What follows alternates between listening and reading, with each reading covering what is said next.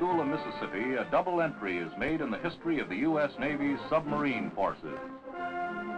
Launched on Armed Forces Day, the USS Blueback is the Navy's last conventionally powered diesel-electric submarine.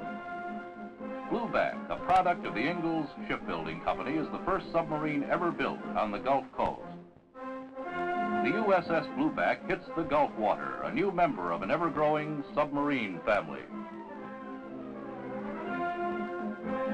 USS Skipjack, the first of a new generation of fighting ships, nearly outperforms the fish during her pre-commissioning trial. Skipjack marks the union of two major developments in naval warfare, nuclear power and cigar-shaped hull form.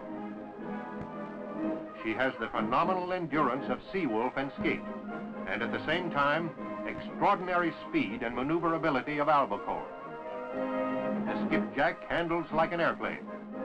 A single man can control the ship's lateral and vertical progress accurately and quickly.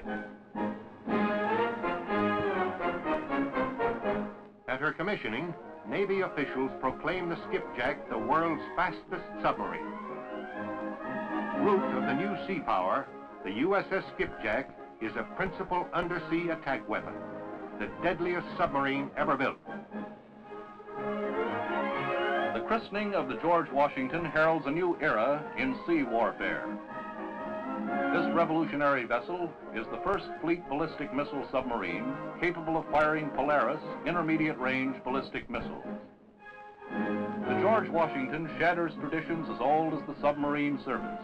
She is the first submarine to be named for a person, and she will be manned by two complete alternate crews. George Washington will be mated with Polaris sometime in 1960. Scientists at the Atlantic Missile Range work diligently to complete the missile, which can strike from beneath the water at a distant enemy with a high degree of accuracy. Wire mark.